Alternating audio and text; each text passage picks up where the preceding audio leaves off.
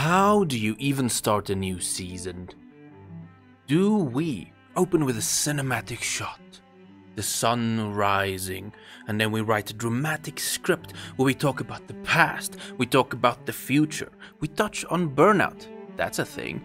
We maybe talk about the two months I went missing. Maybe we don't do that. Maybe we talk about the plans for the channel, my intentions for the future, and the rebrand and what we're gonna do with that. Do we talk about all the noise and the cars and the things that drive by my house? Do we maybe touch on Tinkfro's horse that's just standing down there? Where did he go? He was here just now. Do we talk about the resident do we talk about the residential area that's behind me or maybe the commercial area that's to go on that side?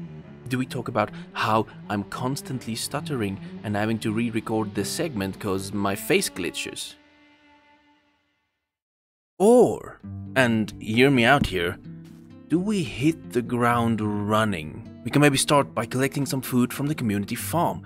Then, maybe, just maybe, we can punch a tree.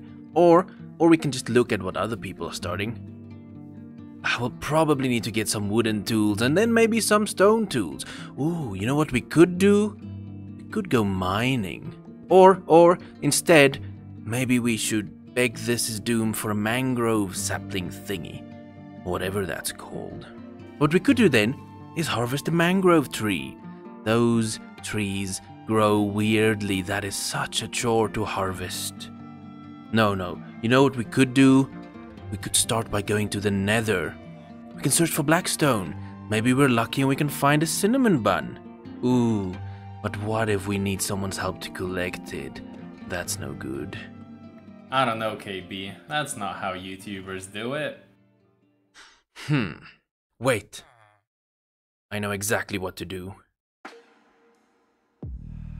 We will build something that no one else will dare start the season with. Something so dark and sinister that you won't even believe it. We're gonna begin with the end. Not the dimension, but the inevitable. First thing we need is an all-consuming entity that spreads like a disease and takes over all the land around it. Then we need a barrier to contain all the unfortunate souls. Well, most of them. But let me not get ahead of myself.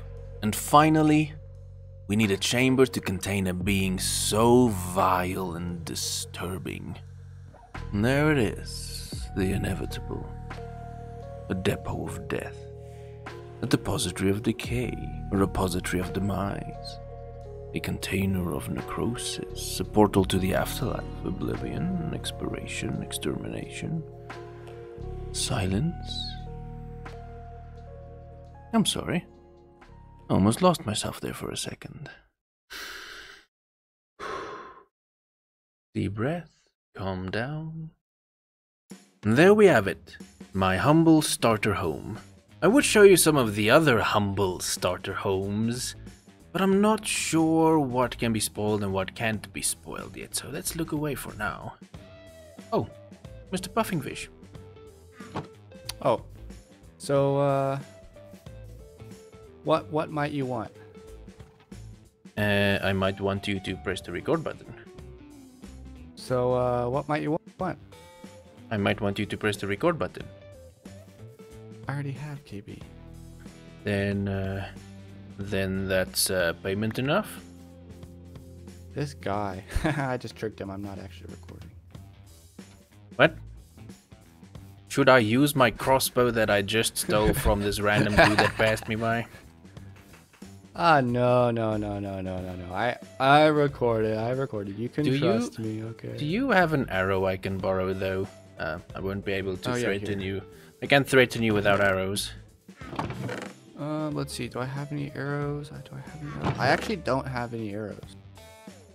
I, I used all my arrows on skeleton. oh, here, wow. Here, here, here, here. KB, here. There you go. I have one of those. There. Oh. Now, now, now it's your loss that you did not press the record button. I already...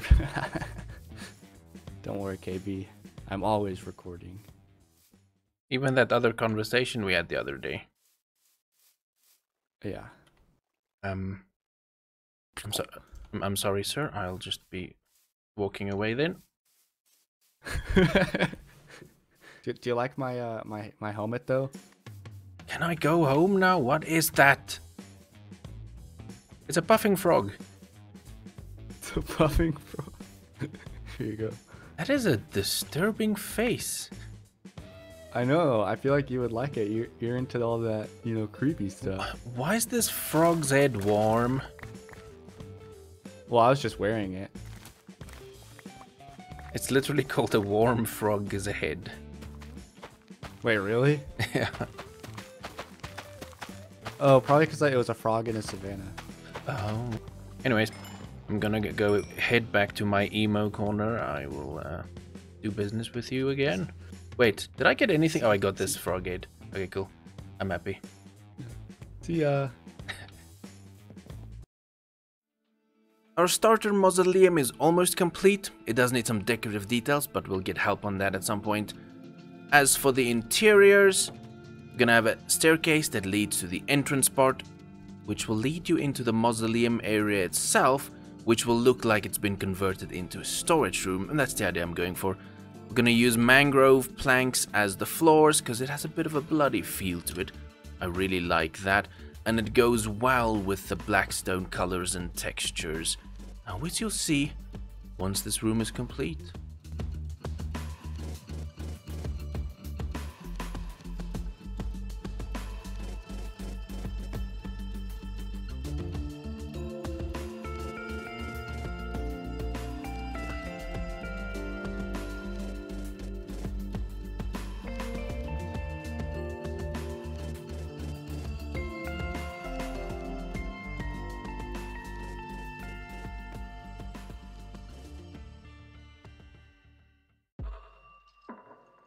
There it is, our simple starter storage.